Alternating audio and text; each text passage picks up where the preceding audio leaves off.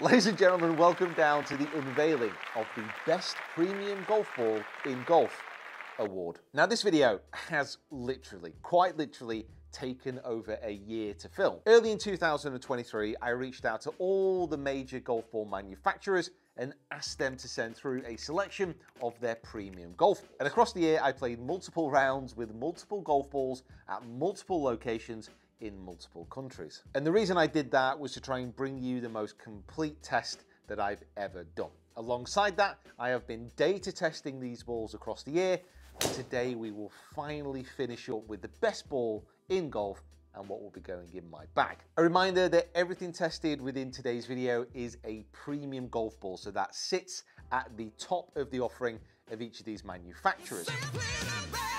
If you do want other videos which are looking at the less premium selections, please get down into those comments below and let me know. So let's get into it. First of all, we are looking for the ball with the best visual tech. So companies are always looking at the best ways to improve their golf balls. Better? Better. And the way that they look is suddenly becoming quite a huge part of this. There are a number of different manufacturers trying to enhance the performance with the visual technology that they are putting on their golf ball. And out of everything that I've seen so far this year, by far my favorite is the Srixon Z-Star Divide. So back in the day, Ping brought a golf ball out, which was similar to this. It was split in half with two distinct colours. But Srixon are the first company to really bring this back in the modern age and I think they've done an amazing job. There are other notable mentions within this category. You have Callaway with their triple track, you have TaylorMade with their Pix ball, for example. But this one for me is just so simple and so effective. And what I really love about it is that they've had the courage to stick it on a premium golf ball. Good job. Lining up putts with this ball is just so simple and the feedback that it gives you pretty much instantly if you've hit a good or a bad putt is very apparent. Also, when you hit chip shots and short pitch shots with this ball, the visual effect is nice. Now, throughout this test, you will see that I think there are probably better performing golf balls overall than the Z-Star, but if you're looking for something with the best visual tech, uh, I think it's this. Now onto the golf ball, which is best for spin. So if you're looking for a softer golf ball that spins like crazy, you're in the right spot. Welcome to the party the TaylorMade TP5. Funny one this with the TP5 because when you're out on the golf course and when this is struck, it feels heavy, it feels solid, but in a very satisfying way. But also it flies exceptionally well. I do think this is going to be a contender for the best golf ball overall. Higher spinning balls are starting to gain a little bit more popularity within the golfing marketplace just because the golf clubs are designed now to be lower spinning, higher launching. So a ball which adds a little bit of spin and a little bit more control are becoming a bit more popular. Also, if you have a slower swing speed and you do want to use a more premium golf ball, generally these just stay in the air longer. So I've been testing these golf balls out on the GC Quad in the studio throughout the year as well.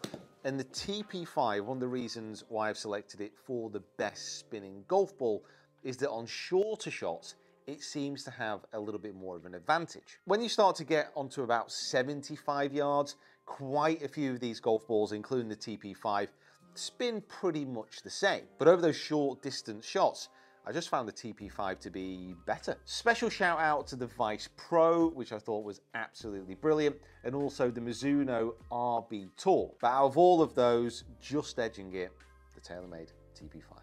We are on to the biggest surprise of the year, and I really wasn't expecting this. Surprise, mother. I actually believe this company has really turned a corner in the last 12 months and is producing some fantastic golf balls this one included. The Wilson Staff model. So this is a four-piece construction golf ball and it's what I'd call an all-in-one. So quite a few of the brands have a family of golf balls, like the Pro V, for example, sits alongside the Pro VX and the AVX, while the staff model is an all-in-one. We believe this is the best golf ball for us, so we're only going to give you one model. And I actually really like that. It simplifies everything. You can get an R version of this golf ball, which has a raw cover.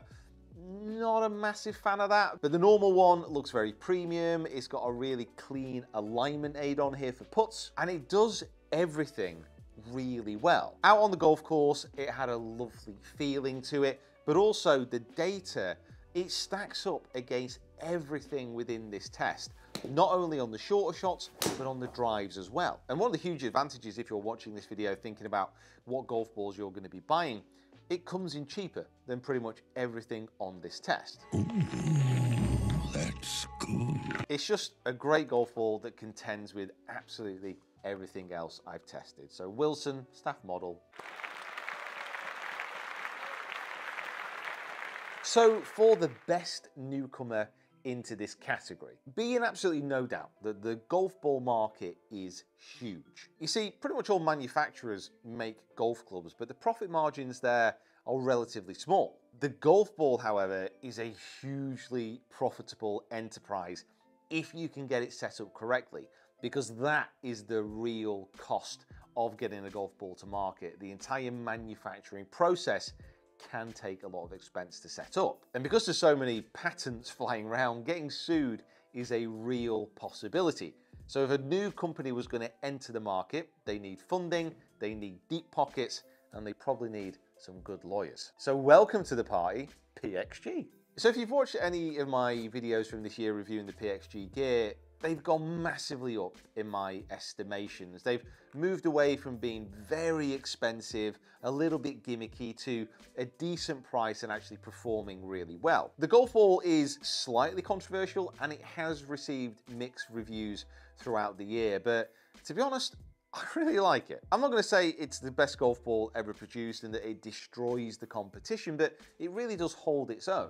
I actually felt on the golf course this was really good, almost slightly better than potentially the data when stacked up against some of the other balls. My only concern was it just seemed to get marked up quite easily. But there can be no doubt, as an opening gambit into the premium golf ball market, I think this is a really good choice. It's also similar to the Wilson that it's their only offering in this premium section. So it's an all-in-one. So now onto the category which is best in distance. To be honest, I'm not to pretend that this is a category that I would recommend for everybody. Distance is a finely balanced thing. The harder that you hit the golf ball, the more that you will make it spin. But if you want to hit the ball further, just getting a harder golf ball is often not the answer. It comes down to how you launch the ball, your spin rates, your angles of attack. It comes down to so many things. This data set and my decision is purely based on the information that I have and what I found on the golf course. So coming out on top is the Vice Pro Plus. Now this was a very, very close run thing between the Vice, the Chromesoft XLS and the Mizuno RB Tour X. All these balls are very much designed to be low spinning when struck with the driver. Then the Pro Plus just edged other two out, but we're talking by a few yards. I was obviously hitting these golf balls throughout the year with my own driver, but I also completed a test here in the studio using a Callaway Paradigm driver at 112, 113 miles an hour, just to see how these reacted with different swing speeds. And as mentioned, these were all incredibly close. One of the reasons that I've plumped for the Vice Pro over, say, the Chromesoft XLS is that this feels like a bit of a rock when you hit it, whilst the Vice Pro Plus actually feels a little bit more responsive and a little bit better around the green, which I know isn't the whole point of this, but it's nice to have a more rounded model. And stay tuned because this is going to go into the contest for the best golf ball overall. Now, as mentioned, it's very hard to break into this premium golf ball space. Like Titleist, for many years, had an absolute lock on the market. TaylorMade have started to make some moves. Srixon, obviously, Callaway. It started to become a little bit more congested. But this company now has a seat at the high table. I'm not going to say it's a big seat. It's kind of like a really sturdy stool next to the other thrones. And it has become apparent that a lot of golfers, a lot of the common man, are rebelling against the status quo and they're looking for different options in this market. And sitting at this table now, very much firmly in place, are Vice and the Vice Pro and the Vice Pro Plus. So Vice have really stepped up and they're thinking about their own Coronation. The other Monarchs should be worried. The Vice Pro is the softer version of these two golf balls and it does spin a lot. For me, the Pro Plus is a more complete product. And the data numbers on these golf balls, again, net out really well. They're also direct to consumer, so you can actually go on the website and you can buy in bulk, which drives the price down similar to what the Wilson would be. And any option that you can get to do that is usually pretty good. The Vice Pro Plus in particular for me, just, it seems to fly very heavy through the air. Like if there's a bit of wind whipping around, it just seems to be able to batter through it. And that is very useful if you're playing links golf definitely a contender. So we come to the best golf ball series. Now, as mentioned, quite a few of these brands have a number of premium golf balls at the top of the line. Bridgestone, for example, have a very complex line. Titleist, we've already spoken about. Mizuno have only got those two balls, but everyone seems to be going for this approach apart from a couple of contenders on this test. And for me, the most complete selection within this category is Callaway with their Chrome Soft range. Now, a few things to say. I think they're the best range because they offer the most difference between the balls. The Chrome Soft is just that, it's soft. The Chrome Soft X is a little bit firmer, it flies a little bit further, and the Chrome Soft XLS is a very low spinning golf ball. When I hit these one after the other on the golf course and measuring the data, I can really tell a difference between them. Sometimes with the brands, they just get a little bit mixed up, which is why I do like the Wilson and the PXG. You know, it's, it's very clear. Here is the one golf ball. The Callaway have managed to get three very different performing golf balls. I would say, however, the Chrome Soft XLS feels very firm. The Chrome Soft overall actually performed probably the worst out of every ball on this test the Chrome Soft X I do like. So even though there are issues here, there are very clear distinctions between these three golf balls. So onto the best overall golf ball and the one which is going to be finding its way into my golf bag. Now to reach this overall decision, I've obviously taken the performance of these golf balls across the year on the golf course and the testing that we've done. How they look, how they feel, and how they perform. But here at the end, at the finale. We have five golf balls fighting out for a chance in the bag. We have the Bridgestone Tour B XS, basically Tiger's golf ball. Didn't top any of the charts, but it was always up near the top, a very consistent golf ball. The Vice Pro Plus, as you already know, it's a favorite of mine. The TaylorMade TP5, a very spinny golf ball that actually held its own on the longer shots as well. The Titleist Pro V1, which it's the Pro V1. And finally, rounding out the finalists, making one hell of a debut, the Wilson staff model.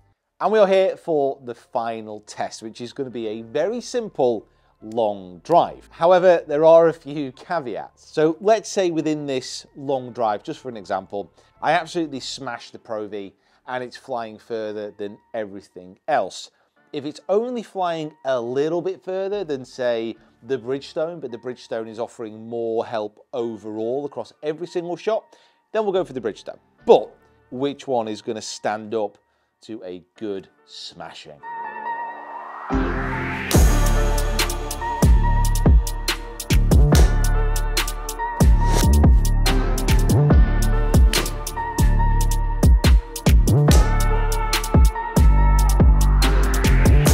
Now, looking at the data here for my full swing speed, something which jumps out and something which is incredibly apparent is just how similar everything is. So we'll throw them up here, but Pro V kind of ball speed here, 166, Wilson 166, Bridgestone 165, Vice 168, TaylorMade 167. They're all so similar. Spin rates exactly the same in the same order 2130, 2063, 2011, 2190, 2165. Carry distances 299, 296, 294, 294, 301.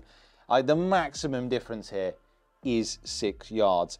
This is something which actually I found quite surprising there was a definite difference with the really firm golf balls. So with the Chrome Soft XLS, for example, uh, the Mizuno actually to some extent. The, the balls that were designed to be very, very firm. I did see a little bit more carry and a little bit more distance in preliminary testing. But overall, the five balls that made it through to the final, they're so similar. They're so, so similar. So after all that, and across the whole year, it has come down to two golf balls. I'm taking away the Bridgestone. I'm taking away the Vice Pro Plus, which kind of breaks my heart a little bit. And I'm taking away the Titleist Pro V1.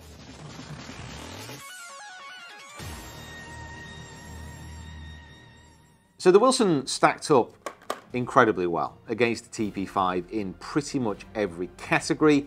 And I do have to say that really all these golf balls I tested, certainly the final five, they're all fantastic. But this is all about now what I think would be the best within my golf bag, and of course the one that I would recommend overall. It's honestly coming down to just the intangibles, like the feel, the memories that some of them have given me, how they line up on the green, any visual tech that I can add, and which one I'm going to be the most happy with over a full year of competition golf.